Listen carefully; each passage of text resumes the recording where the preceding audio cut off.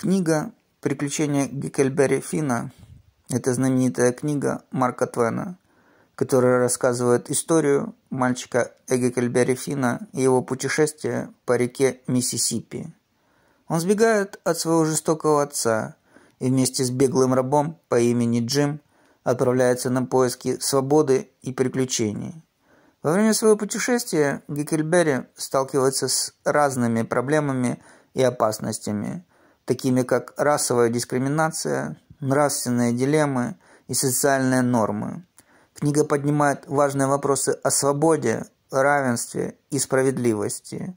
Она также исследует тему дружбы и солидарности, показывая, как связь между двумя необычными путешественниками становится сильнее в процессе их приключений.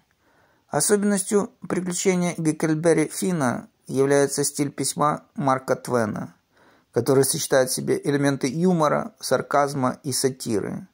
Автор использует живой диалект и местную речь, чтобы передать аутентичность персонажей и создать атмосферу реального Южного штата. Книга «Приключения Геккельберри Фина» является важным литературным произведением, которое вызывает обсуждение – и отражает сложности и противоречия американского общества XIX века. Она до сих пор остается актуальной и вдохновляет читателей размышлять о важных социальных и моральных вопросах.